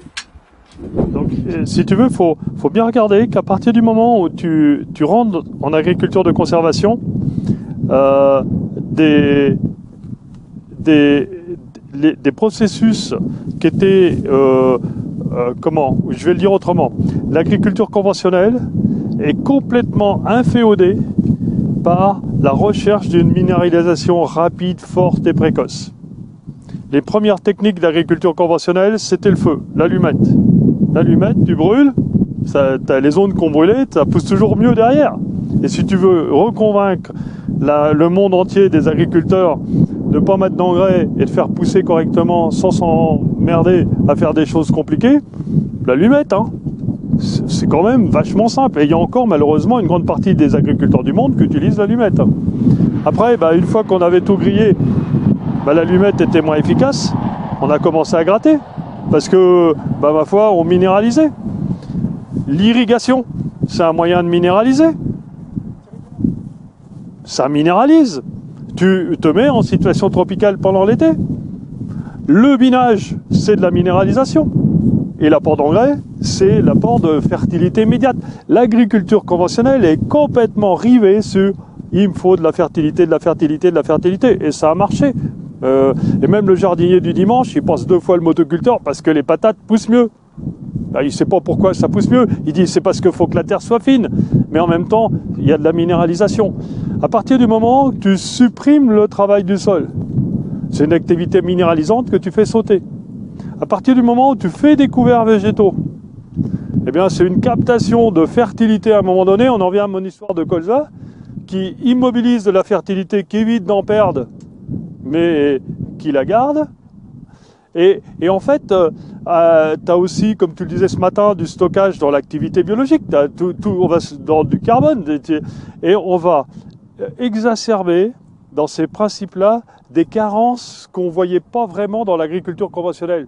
Donc en fait, si tu étais borderline en conventionnel et puis comme tu accélérais dans le système, bah, euh, tu la voyais pas trop la carence. Si, regarde, moi je reviens à ce que tu disais. En gros, je vais, comme tu disais tout à l'heure, je vais co- cocher des cases. Je prends les, euh, les analyses de sol. Je regarde tous les, euh, indicateurs, tout, est bon. Au bout du bout, j'ai des rendements qui ne sont pas déplafonnés, j'arrive pas, j'ai beaucoup d'intrants. En bas à droite, c'est pas très bon. Je passe en, en- en conservation des sols. Qu'est-ce que je fais? J'arrête de travailler mes sols, je me dis, ah, il manque de l'activité biologique. On travaille l'activité biologique, on travaille des couverts, etc. J'ai une activité biologique qui monte. Mais en même temps, avant, j'avais descendu mes intrants pour pouvoir gagner en rentabilité. Je me suis retrouvé dans un croisement où je mettais mes carences en difficulté et crevais de faim.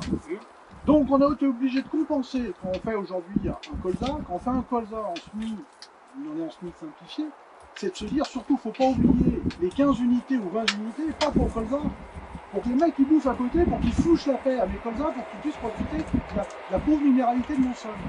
On commence à y penser sur l'idée en se direct en disant on essaye de se mettre tard, mais on n'a plus de fertilité, donc il faut que je remette de la fertilité, c'est-à-dire 15-20 unités, pour donner à manger aux bestioles pour qu'ils fichent la à mes blés. En gros, c'est à peu près cette idée-là. C'est-à-dire que tout ce qu'on avait au départ, et c'est ce que tu disais, je, je cochais des cases qui étaient bonnes, pas bonnes, je vais remonter, euh, je la biologie de mes sols, je vais etc. Et en fait, tout se croise, et tous les indicateurs qu'on avait eu euh, l'habitude d'utiliser sont caduques. On est d'accord. Donc il faut. Mais les, les moments d'intervention maintenant sont caduques aussi. exactement. Il faut qu'on remette notre schéma de, de- de- des- des moments de, mise en place tu cultives plus du blé, tu cultives du maïs. Tu sèmes pas au même moment, tu désherbes pas pareil, tu euh, tu fertilises pas pareil. C'est pas c'est pas la même plante ou c'est du maïs ou du chanvre. Enfin, euh, tu vois le tu vois le truc. Et mais j'insiste là-dessus, on exacerbe les carences qu'on avait avant. Donc en fait, euh, c'est normal qu'on les voit les premiers, mais on vivait avant un petit peu avec. Non, euh, là, tu. Donc c'est normal qu'on soit, les... qu'on soit les premiers à s'intéresser à ça. Ensuite, il faut quand même qu'on se mette dans une dynamique. C'est à chaque situation son diagnostic, à chaque ferme, à chaque parcelle. C'est quoi aujourd'hui ton facteur limitant quand je rentre dans ton champ, celui-là? Est-ce que c'est la matière organique et la structure du sol? J'ai vu des sols, il bah, faut commencer par remettre la structure en place. On attendra pour voir ça en place et en mettant la structure, toute on se met déjà un accès à une quantité de fertilité beaucoup plus importante parce qu'on retrouve la structure.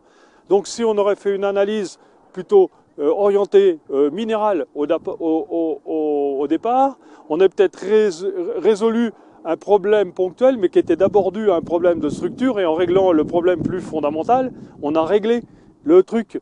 Euh, regardons ce que les couverts peuvent chercher dans le fond, parce que si tu fais une analyse à la surface, on va te dire, oh, tu vois, t'as vu la mienne, euh, je manque de magnésie, putain, mes argiles, ils sont blindés de magnésie. Est-ce que les vers de terre en remontent? Est-ce que les couverts en remontent? Nouvelle question. Et, en fait, euh, globalement, on faut abandonner l'idée de certitude, mais faut être un petit peu. Euh, alors ça, paraît inconfortable, mais euh, moi, je, suis plus confortable dans cette situation-là maintenant euh, de ne pas avoir de certitude, parce que ça me permet d'être un peu en train de surfer quels sont mes facteurs limitants, puis d'être, on connaît pas tout, puis on essaye de s'approcher, de tendre vers, et, mais toujours être rivé sur se poser la question quel est mon plus gros facteur limitant que je me trompe pas d'objectif aujourd'hui? Je vais reprendre la différence qu'on a avec Franck. Il, il va encore grogner, hein. Il va encore grogner. Mais non. Moi, je, moi, je commence à m'intéresser sérieusement aux équilibres minéraux précis parce que ça devient vraiment mon challenge, mon facteur limitant. Moi, je suis, sur le- je suis sur la grosse cavalerie, moi. C'est le gros œuvre. Non, mais ça sert à rien qu'il investisse là-dedans. C'est, c'est, c'est, et, bah, dans, dans 5-6 ans, bah, clac, on va pouvoir transférer. Il sera rendu là. Et mais c'est bien hiérarchisé. Et il y a tellement de gens, tu vois, qui oscillent à la dernière idée et ils sont là et ils veulent, ils veulent mettre la dernière idée dans le système qui, est génial. Mais, mais t'es là, faut que tu fasses là. Par contre, lui, il a trouvé une idée géniale. C'est comment ac- accélérer les cycles de carbone alors que moi, je fais que de ralentir les bestioles. C'est le seul moyen agroécologique d'accélérer les cycles de fertilité. Alors, moi je, fais juste un complément là-dessus, parce que ça, le constat que tu fais est réel. Et c'est vrai quand on regarde un, un sol comme ça, si vous regardez le premier horizon, là, je ne sais pas si vous voyez, quand vous avez des structures de ce type-là, c'est ce qu'on appelle bioturbé dans dans le jargon, mais en gros, si vous pouvez vous le faire passer, c'est des modes qui sont extrêmement poreuses et avec de la porosité biologique extrêmement élevée. On a ça qui est disséminé sur tout le premier horizon. Ça veut dire quoi? Ça veut dire quand même on est dans quelque chose d'extrêmement favorable. Pourtant, on a les phénomènes que tu es en train d'expliquer. Alors, moi, l'hypothèse de travail que j'essaye de, voir, c'est ce que tu dis, euh, Fred, c'est- extrêmement vrai. Euh, Il y a le gros après, il y, a la, finition. Quand on essaie de faire les finitions avant le gros on a des problèmes. La question, moi, que j'essaie de me dire, c'est est-ce qu'on ne peut pas faciliter cette transition en travaillant sur le moteur de minéralisation, mais pas que, c'est-à-dire le moteur qui permet à la plante de fonctionner convenablement, c'est-à-dire son appareil digestif, son biotope microbien. Donc, ça reste de l'hypothèse de travail aujourd'hui. C'est pour ça qu'on essaie de travailler avec un certain nombre d'entreprises qui peuvent proposer des choses intéressantes. On travaille avec les oligos aussi, parce que des fois on parle NPK. On a des facteurs limitants qui peuvent être des oligos extrêmement importants, du bord, des choses comme ça. Et euh, on travaille sur le thé de compost oxygéné qui permet de rééquilibrer un certain nombre de ratios. Parce que le moteur finalement qui me permet de valoriser au maximum ce qui se passe dans mon sol, ça va être des équilibres microbiens, des fois un peu fins. Et ça me permet peut-être d'accélérer un peu. Par contre, ça doit toujours être fait en jointure avec des apports de biomasse et de carbone importants. Parce que si la matière organique n'est pas là, on n'a pas d'effet tampon, on va avoir un vrai manque. Mais là, on est déjà à 3% de matière organique, dans les climats dans lesquels on est, etc. Ça commence à déjà être pas mal hein, pour l'azote. Donc il faut commencer à avoir des bénéfices. Comment je fais pour valoriser ce milieu-là? Je pense qu'il y a un certain nombre de paramètres où on va sortir du NPK classique pour essayer d'optimiser un peu le système. Et euh, les équilibres minéraux sont quand même un, un moyen important. Statut acido-basique, hein. deux choses qui drivent un peu votre microbiologie. Ce qu'on appelle le pH, mais en fait les statuts acido-basiques, qui est intimement lié au, euh, finalement au, au redox. hein. Et ces deux paramètres-là aujourd'hui sont utilisés en laboratoire pour cultiver tel ou tel type de micro-organisme. C'est-à-dire que si le pH et le redox dans une boîte de pétri ou dans une solution où cultiver des micro-organismes ne sont pas maîtrisés, vous partez sur d'autres communautés où vous n'arrivez pas à développer votre micro-organisme. Donc il y a un effet assez fort là-dessus. Comment je travaille finalement, mais plus d'électrons dans un sol? C'est très simple. hein. C'est tous les résidus végétaux transformés ou pas, à des différents niveaux de dégradation. C'est ma matière organique qui me permet de distribuer des électrons finalement dans mon sol. Les électrons, c'est de l'énergie. hein. C'est l'énergie que vous avez dans une batterie, c'est l'énergie qui circule finalement dans votre corps parce que on a des processus d'oxydoréduction qui permettent de, de dégrader des sucres pour en sortir de l'énergie, ou alors on peut polymériser après du carbone pour stocker de l'énergie. C'est comme ça que ça marche. hein. Le carbone, c'est un peu l'unité euh, de, stockage de l'énergie et l'unité qui fabrique aussi le squelette. C'est pour ça que le carbone est, l'élément qui est, qui est un des plus présents sur Terre. Et dans votre sol, c'est pareil. Vous avez votre squelette de carbone qu'il faut pouvoir construire, c'est le gros. Et ensuite, il va falloir aussi construire un équilibre microbien via les éléments minéraux et arrêter de penser NPK. Il en reste aussi. Donc euh, voilà, des oligo-éléments. Peut-être que tu peux nous en dire plus là-dessus. Et puis euh, le statut acido-basique extrêmement important. Voilà, dans, dans le phasage. Et après, bah, il y a un autre élément quand même. euh, Rappelez-vous champ, hein, carbone, hydrogène, oxygène. Donc ok le carbone, bah, hydrogène, oxygène, c'est H2O, c'est l'eau. C'est un facteur limitant extrêmement important qui calibre aussi ce qu'on peut faire ou pas faire dans un système de culture. Et après, il y a tout le reste. Donc, je sais pas ce que tu peux. Vas-y. Ouais. Petite question, là on est à combien Là, on ne doit pas être euh, hyper élevé. Hein. On a combien là? Une quinzaine, ouais. Selon les terrains, on est entre 15 et 17. Et 17, ça veut dire que si on se réfère au ratio euh, de On va 80, gagner encore un peu. On est pas trop mal, mais on y va dire peut-être à. On est sur un sol à 4, 4, 4, 4 5 qui serait euh, plus l'optimum, mais Ouais. après c'est le construire. Moi j'ai beaucoup aimé ce que vous avez montré ce matin sur les différents profils. Euh, faire 4% de matière organique sur 30 cm, c'est pas simple. Par contre, aggrader 4, 5%, 6%, 8% de matière organique sur 5 cm, c'est tout à fait possible. Ça, Et c'est ça qui est important. qui te permet de. Exactement. Et c'est là où le lessivage est génial. C'est que si tu lessives énormément à partir de ces 5-6 cm, tu commences à avoir un cycle qui, s'in- qui- qui- qui est intéressant. Par contre, c'est là où les déchômages légers, systématiques, etc., Bah, ça t'a brise envie, cet équilibre. hein. et on vient diluer, on vient perdre un peu de cet effet-là. et l'irrigation, tu vois. Mais c'est plus la quantité, c'est pas la quantité, c'est plus les cycles d'irrigation. Je reviens encore là-dessus, tu vois, euh, te rassurer là-dessus. Et, et, bah ouais, si tu, si tu dans des petits cycles et t'envoies de l'eau, tu mouilles tes 10 cm, alors ça va chier ça va chier des potes parce que c'est la zone de fertilité. Et, mais, mais en même temps, tu es en train de la minéraliser. Quoi. Et tu vois, on s'aperçoit maintenant à terme, on a fait euh, les 10 premières années d'irrigation, c'était maïs, maïs, maïs, semence, maïs, semence, maïs, semence, maïs. Aujourd'hui, on. J'allais dire, c'est presque l'exception de mettre du maïs. Et on s'aperçoit qu'en fait, à, à une terre qui a été irriguée, tu n'irrigues plus pendant deux ans, quand tu la irrigues de nouveau, tu as une réponse qui est complètement différente en irrigation. Complètement. C'est extra logique ça. Bien sûr. Bon, euh, nous on est couillons, on a mis 20 ans à le comprendre, mais bon. tu déplafonnes tes rendements. Carrément. Mais moi, je, je reste intimement persuadé. Alors, tu parlais de, de, système agile. Aujourd'hui, il faut être sur de la technique agile. Moi, je reste intimement persuadé qu'on n'a pas encore complètement déplafonné. Je pense qu'on a des sols, malgré ce qu'ils sont, qui ont réellement plus de potentiel que nous. Combien On va pas chercher bien loin, on va chercher du 110, 115 sec. On va jamais chercher bien loin. On a tout le temps un autre facteur limitant qui arrive. On a des gros vents du sud qui viennent nous tuer hein, ici, hein, euh, c'est hyper compliqué. Mais euh, on n'a pas encore déplafonné. Il y a d'autres systèmes. Aujourd'hui, on parlait de système agile tout à l'heure, hein, c'est des systèmes techniques agiles. Je pense qu'on ne sait même pas encore approprié la moitié de ce qu'on devrait apprendre à euh, connaître aujourd'hui. Qu'on n'arrive pas à déplafonner parce qu'on n'est pas assez vigilant et pas- parce qu'on est encore sur l'idée de, L'application de règles. faut qu'on change de modèle. Enfin, nous, c'est à nous. quoi. Bon, on est sur- déjà sur quelque chose, on a au début quelque chose. Euh, bah, comme euh, je, je vais, je vais conclure sur le, sur le profil, et, C'est sympa ou je me casse? Bah, je pense qu'on va arriver à s'entendre. Pense qu'on va arriver à s'entendre. Alors, euh, euh, si tu veux, euh, j'étais super d'accord sur tout ce que, tout ce que j'ai vu, mais quand j'ai commencé à, ouvrir ton profil, voilà ce que j'ai vu. Alors on voit des racines vivantes, ça c'est des racines du couvert. hein. Et aujourd'hui on a des racines de couvert qui sont quasiment descendues à un mètre de profondeur. Ça explique pourquoi ça a vécu. hein. Et, en fait, c'est voilà, ça c'est des racines du couvert. Ça, ça explique bien euh, que c'est vivant et, et c'est en train, c'est en train d'ouvrir le sol.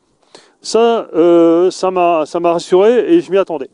La deuxième chose que j'ai vue, et tu peux descendre dans le profil. Euh, cette zone-là, la zone sous-jacente, là, eh bien, c'est pas si sec que ça. C'est pas si sec que ça. Et en fait, euh, euh, je m'excuse. Euh, Aujourd'hui, on a une super structure, organisation structurelle, et on voit bien le travail, l'investissement que vous avez fait dans ce profil-là depuis une quinzaine d'années. C'est, mais c'est top. Le, dessous, là. Et, et ici, regarde, on a une racine qui est là. Qui est là. Aujourd'hui, le fond, il est, il est vraiment excellent. Et on peut me dire qu'il n'a pas plu, on peut me dire qu'il s'est sec, mais aujourd'hui, euh, à cette profondeur-là, on a encore de l'humidité pour faire vivre pas mal de végétaux. À partir du moment où on peut les faire lever et on peut s'enraciner. Ce qui explique aussi pourquoi c'est là. Ce qui explique aussi pourquoi des gens peuvent être déçus, ils ont semé et ils me disent après le couvert a crevé parce qu'il n'a pas plu, mais aussi parce que le sol n'était pas organisé.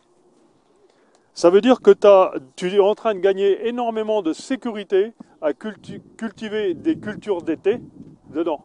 Ça veut dire que on a un- une petite difficulté qui apparaît là. Ça, c'est fond, le fond de ton travail conventionnel, qui est plus conventionnel. On voit l'ancien labour qui était là, et puis là, on voit l'ancien travail. Et puis là, tu es remonté à peu près à ce niveau-là. En fait, le sol, aujourd'hui, globalement, il est sec. Il est sec sur euh, l'ancienne profondeur de travail. On a, on a un petit peu un escalier là. Hein, ça, ça représente un peu une zone ici, une zone ici. Hein. Le meilleur sol est ici. Là, on a, on a quand même une barrière pour l'eau. Et puis, euh, c'est la zone de surface euh, qui est hyper asséchée.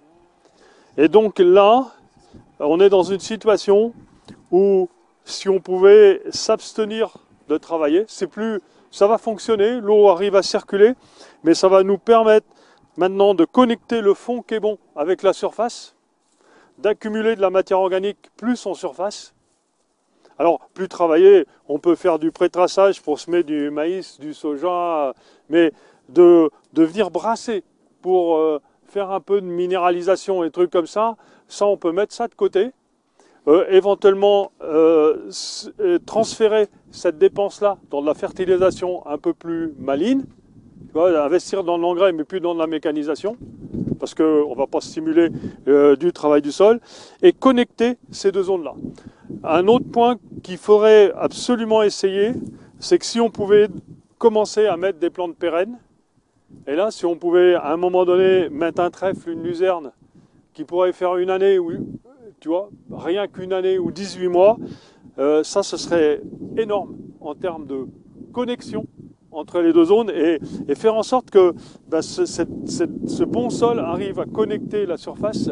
Et là, euh, on peut commencer à faire des choses exceptionnelles. Là, vous avez vraiment, vraiment dressé les sols. Maintenant, il faut finaliser l'affaire. Et il y a un petit saut à faire avec des économies qui vont pas être très compliquées. Ah, Alors là, ça demanderait peut-être un peu de machines spécialisées. Et après, ben, certainement pas lever le pied sur la fertilité, être assez habile sur la rotation, continuer les couverts, et, puis euh, euh, on, se retrouve dans, quelques années. Ça va, continuer, ça va continuer à bouger dans le bon sens. Mais vous avez déjà euh, mis les choses en, en état, c'est en, ordre. Mais il faut du temps. Et on ne sait pas jusqu'où on va aller non plus.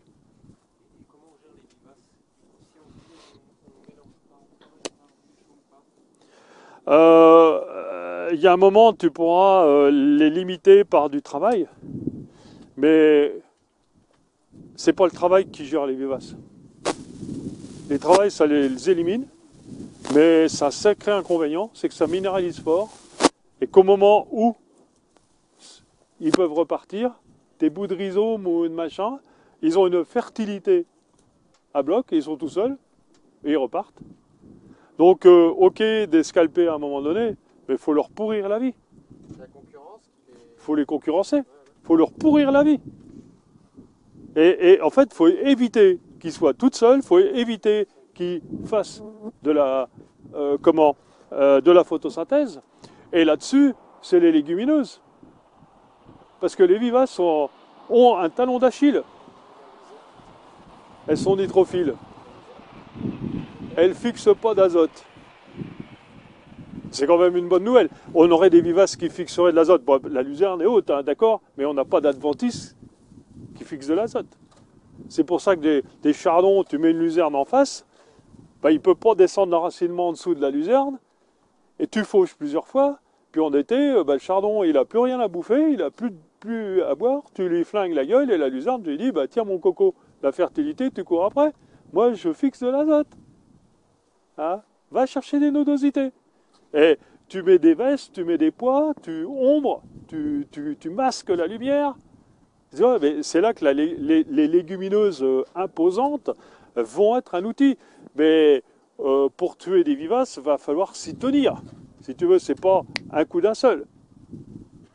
Mais plus tu voudras garder tes champs nus, plus c'est elles qui ressurgissent dans le système. C'est presque symptomatique de parcelles ouvertes. Euh, c'est symptomatique de prairies surpâturées. Euh, c'est que tu leur laisses de la place. Et là, toi en plus, tu en as besoin des légumineuses pour entrer de l'azote dans ton système. Blinde-les avec des. Alors là, les, les vestes, vestes velues et tout ça, euh, c'est des super outils là-dessus. C'est des super... Ouais, il faudra se débrouiller autrement. Mais mais euh, euh, faudra se débrouiller autrement. Mais, mais c'est des super outils. La légumineuse euh, traçante, la légumineuse pérenne, euh, c'est ça qui te permettra et sera beaucoup plus efficace que tout le travail du sol que tu peux faire.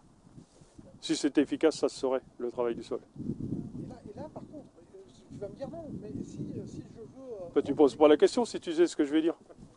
Non, parce que tu m'apportes une autre solution. Tu vas me dire non, mais j'ai la solution. Euh, ici, faire de la fracturation à dents. Pourquoi tu. Loin, loin, avec un, avec un chisel, pouvoir reconnecter, pouvoir implanter euh, une culture d'été, est-ce que c'est jouable bah, Comme tu sais que j'allais dire non, c'est pas la peine de poser la question. Si, non, parce que tu vas me dire non, mais j'ai la solution. ben, moi je te dis non. mais.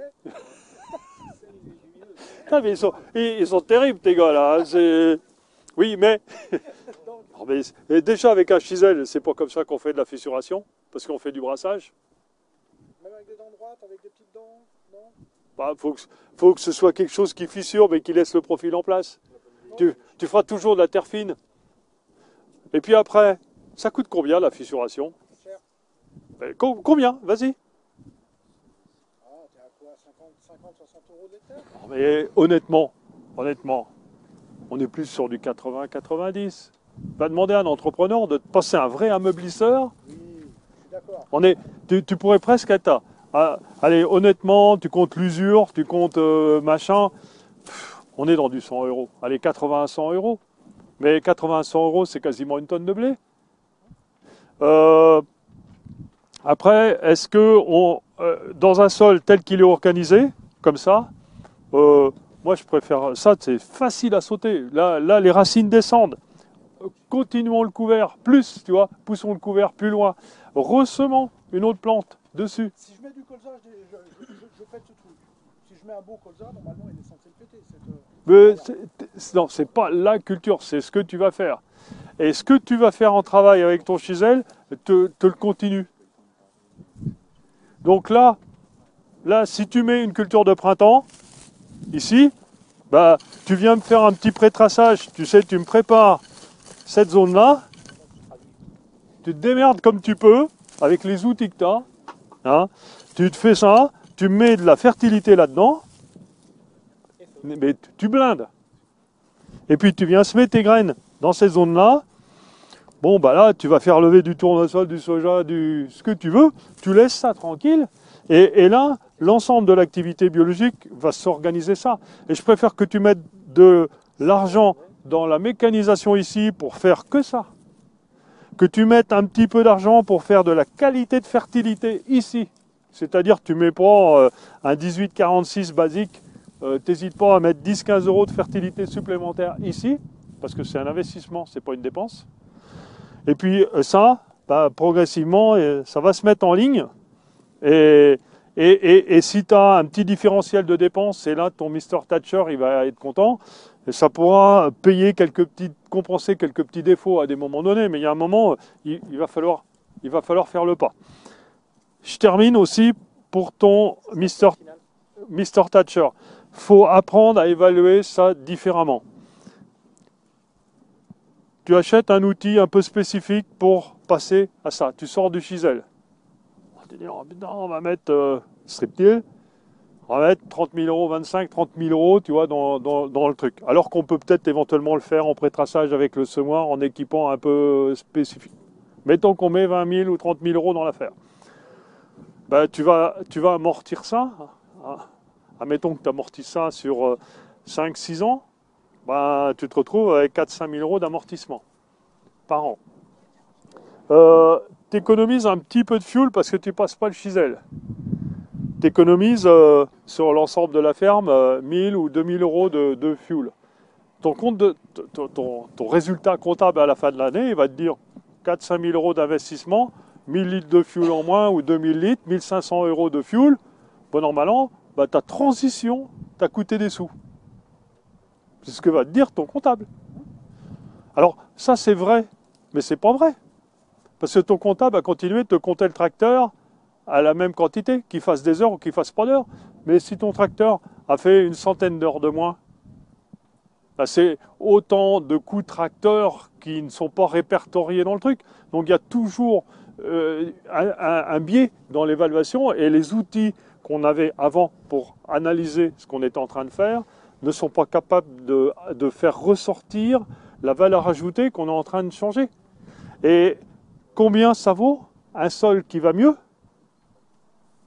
qui me permettra d'être plus résilient, et ça j'arrive à ma conclusion, par rapport à un climat qui est un peu plus compliqué, et qui me permettra d'aller chercher allez, une demi-tonne pratiquement tous les ans, de plus et de moins, une petite économie, ceci, une emmerde en moins, combien ça vaut? Ça vaut des sous. Parce que si tu fais le tour de ta ferme, et si vous faites tous le tour de votre ferme ce soir, il y a des endroits qu'on produit toujours beaucoup plus que des endroits d'autres. Le climat est le même, l'agriculteur est le même, l'envie de réussir est la même. La seule différence, c'est la qualité du sol que vous avez. Et la qualité du sol, c'est la texture, c'est l'épaisseur, soit. Mais sur la qualité du sol, euh, vous avez un énorme euh, comment, impact. Alors, il faut pousser beaucoup, je reconnais, pour que ça bouge un petit peu. Mais c'est un domaine sur lequel vous avez un impact et il faut se réapproprier tout ça. Merci beaucoup. C'était la conclusion. L'engrais et le couvert, c'est de l'investissement. Le travail du sol, c'est du perte de capital et de la charge nette. Et la transition, il faut la prendre en compte avec les économies de méca. Moi, je retiens un truc, c'est que si on veut vraiment bénéficier des vraies économies de charge de méca, le semi-direct, c'est quand même c'est compliqué de passer au travers. Les voies intermédiaires sont intéressantes peut-être, mais au bout du compte, on n'en a pas tous les bénéfices. Merci à tous pour votre participation, merci pour votre écoute, merci aux intervenants.